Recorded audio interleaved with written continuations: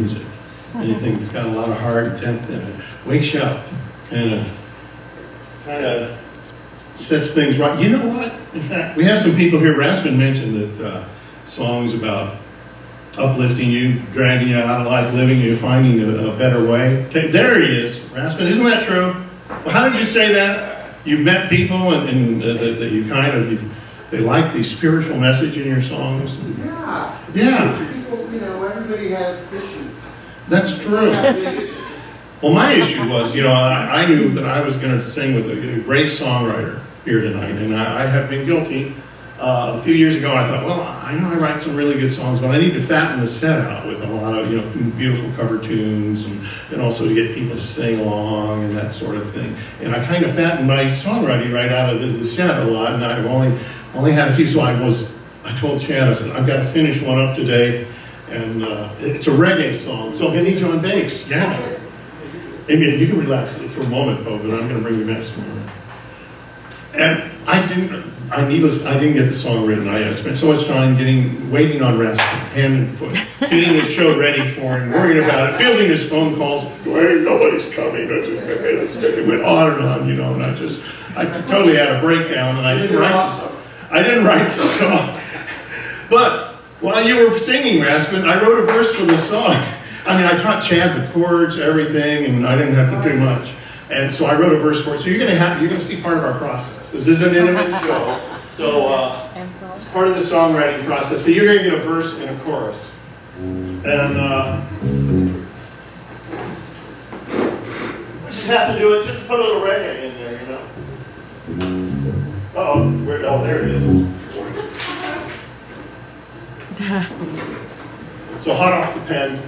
The chorus uh, came to me. I woke up from a dream. I was, really uh, exhausted and depressed, and uh, and I woke up with this song in my head. And there was a guy, a Rastafarian man, bouncing through the clouds, in my head, going.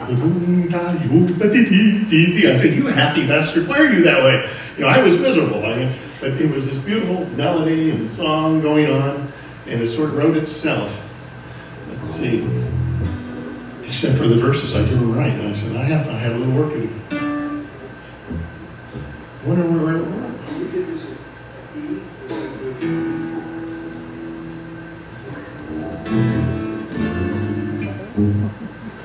Okay, let's do at E.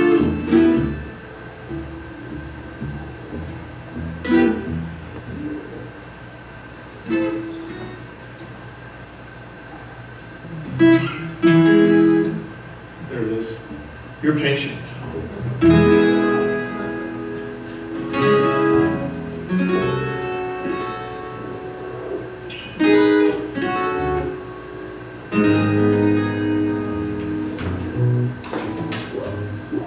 most people I know that are unhappy. I mean, there's definitely there's tragedies, and there's where you're crushed or someone dies and a horrible accident. Those people are in grief.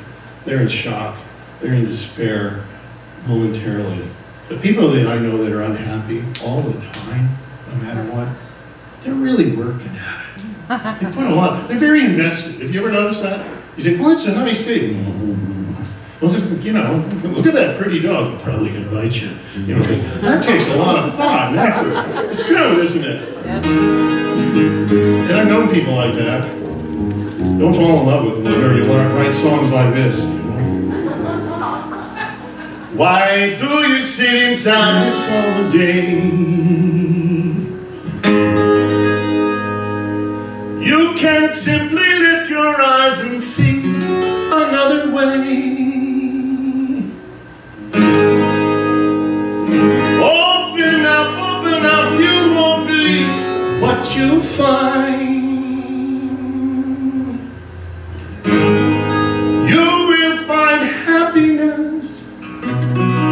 If you just make up your mind to find. Take one step over the rainbow, two step into the sky, three step out to the sunlight. Why don't you, why don't you, why don't you just try? Spread your spirit and let yourself soar can fly over mountain tops. Don't you know that's what life's for?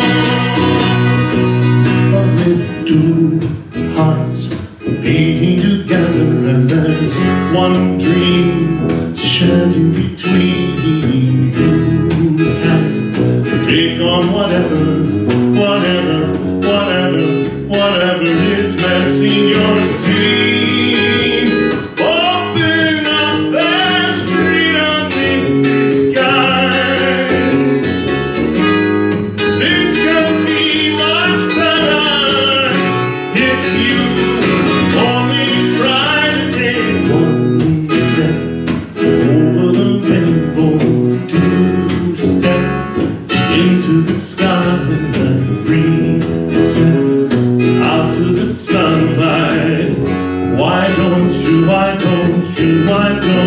You, just try?